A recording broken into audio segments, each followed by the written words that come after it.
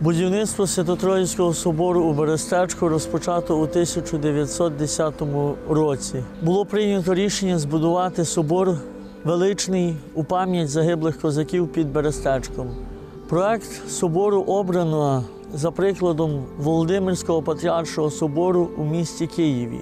Коли розпочали будівництво, почала приступати вода і було залито за розповідями 678 гранітно-бетонних свай. Перша світова війна зупинила будівництво. Частину стін було розібрано для вимощування доріг, і продовження було лише після війни. Але у 30-х роках польська влада заборонила будувати верхній ярус, оскільки собор своєю величністю був би вищим за костел, який знаходиться навпроти через площу. У 1939 році було завершено будівництво, встановивши плоский дах з єдиним куполом.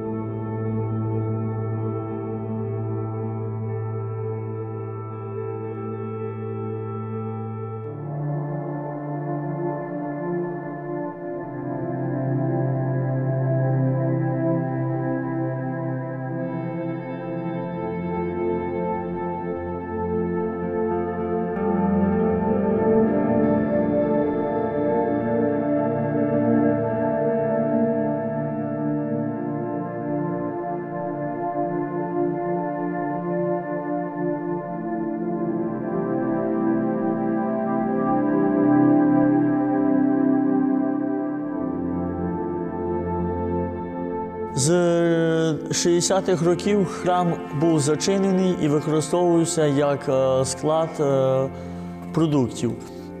З 1990 року храм відновлює свою діяльність і спільними силами продовжується будівництво, оскільки під е, навантаженням снігу дах не витримує. Великою подією був приїзд президента України Леоніда Кучми, який, побачивши цей собор, виділяє з державного бюджету 20 мільйонів для відновлення Свято-Троїцького собору. За допомогою цих коштів було збудовано 5 куполів, весь е, верхній ярус і встановлено е, золоті хрести. Також було збудовано нову дзвіницю. Спільними силами люди продовжують відновлення Свято-Троїцького собору 14 січня 2019 року. Релігійна громада Свято-Троїцького собору прийняла рішення перейти у визнану світовим православ'ям Православну церкву України.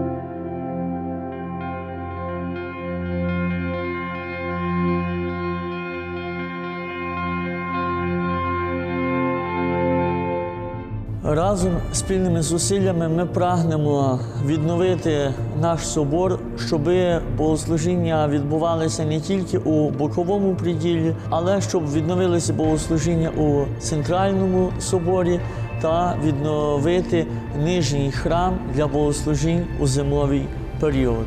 Ми звертаємось до всіх небайдужих, хто має благий намір допомогти у відновленні нашого собору, приєднатися до цієї богоугодної справи своєю лептою, своїми пожертвами.